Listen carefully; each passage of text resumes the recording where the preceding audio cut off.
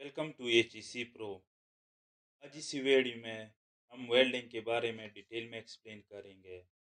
Welding activity में हमारे साथ कौन से हैजेड हो सकते हैं और उस, उन हैजेड के लिए कौन से कंट्रोल मैर हम इम्प्लीमेंट कर सकते हैं। सो लेट्स बिगिन सबसे पहले welding definition what is welding welding is a fabrication process through which we join two or more parts together by mean of excessive heat. Welding एक हमारे साथ फेब्रिकेशन प्रोसेस है, जिसके ज़रिए हम दो या दो से ज़्यादा मेटल को एक दूसरे को, एक दूसरे के साथ ज्वाइन करते हैं एक्सेसिव हीट की मदद की वजह से। और वेल्डिंग हमारे साथ तीन किस्म का होता है। Number one arc welding number two MIG welding number three TIG welding वैसे ये डिफिनीशन डिप्टी ऑफिसर के लिए इतना इम्पोर्टेंट नहीं है, लेकिन फिर भी बाज़ इंटरव्यू में पूछा जा सकता है। तो अब हम अपने मेन टॉपिक की तरफ़ आते हैं कि वेल्डिंग में हमारे साथ कौन से हैजेड पॉसिबल है।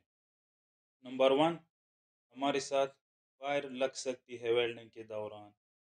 नंबर टू एक्सप्लोजन हो सकता है। नंबर थ्री स्किन बर्न हो सकता है। क्योंकि वेल्डिंग में एक्सेसिव हीट इन्वॉल्व होता है तो इसी वजह से स्किन बर्निंग का चांसेस बहुत ज़्यादा होता है। Number four eye irritation welding में अल्ट्रावायलेट रेडिएशन रिलीज़ होता है, जिसकी वजह से हमारे आँखों में बहुत ज़्यादा इरिटेशन होता है। और अगर हम ब्लैक ग्लासेस यूज़ ना करें तो ये लॉन्ग टर्म में हमारी आई को परमानेंट डैमेज भी कर सकते हैं। Number five toxic gas mostly और वेल्डिंग में कार्बन मोनोऑक्साइड जनरेट होता है, जो हम सब जानते हैं कि बहुत टॉक्सिक गैस है। अगर प्रॉपर मॉस्क वगैरह यूज़ ना ही, नहीं किया तो ये लॉन्ग टर्म में लंग्स कैंसर भी लग सकता है इससे। Number six excessive temperature welding में बहुत ज़्यादा हीट होता है तो इसलिए एक्सेसिव टेम्परेचर भी आसपास रहता है, जहाँ पर वेल्डिंग हो रहा होता है। Number seven electric shock welding में मोस्टली इलेक्ट्रिकल इक्विपमेंट ही यूज़ होते हैं क्योंकि इलेक्ट्रिसिटी की वजह से ये वेल्डिंग हम करते हैं तो इसी वजह से इलेक्ट्रिक शॉक का बहुत ज़्यादा रिस्क होता है, ये भी हमारे साथ बहुत बड़ा हैजेड है। अब हम कंट्रोल मायर की तरफ़ आते हैं। सबसे पहले अगर कंबस्टिबल मटेरियल नियर बाय हो तो उसको रिमूव कर ले। फॉर एग्जांपल वुड हो गया क्लोथ्स हो गया फ्यूल में पेट्रोल डीजल जो भी कंबस्टिबल मटेरियल हो प्लास्टिक हो तो सबसे पहले उसको साइड से हटा दीजिए। अगर रिमूव करने का पॉसिबल नहीं है तो उसको प्रॉपर इप्रूव फायर ब्लैंकेट से कवर कर ले।